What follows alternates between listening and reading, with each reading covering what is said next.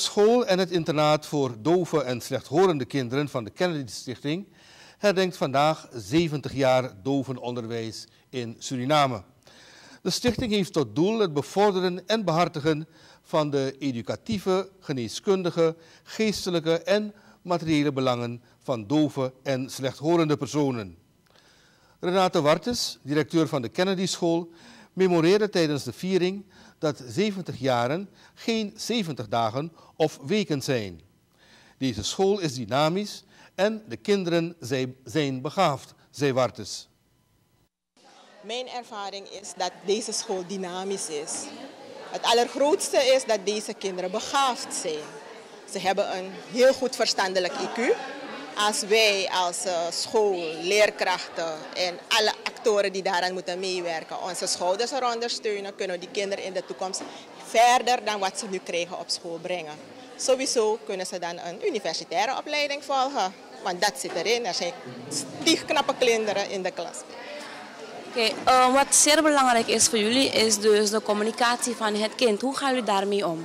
Um, de communicatie bij hun geschiet middels gebaren. Uh, je hebt kinderen die dan slechthorend zijn, maar hun stem is wel ontwikkeld. Omdat ze dan logopedie krijgen om klanken te kunnen produceren. Want het is zeer belangrijk dat ze die klanken hebben. Wij van de horende wereld, ze moeten zich in feite kenbaar kunnen maken aan ons wat ze precies willen.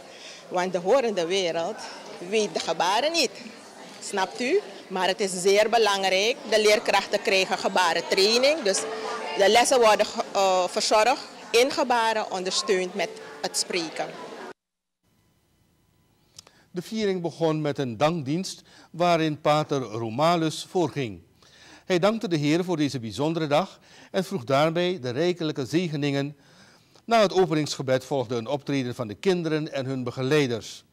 Mickey Wilobi Makandra was een van de liederen die de kinderen met behulp van gebarentaal tijdens de viering hebben uitgebeeld.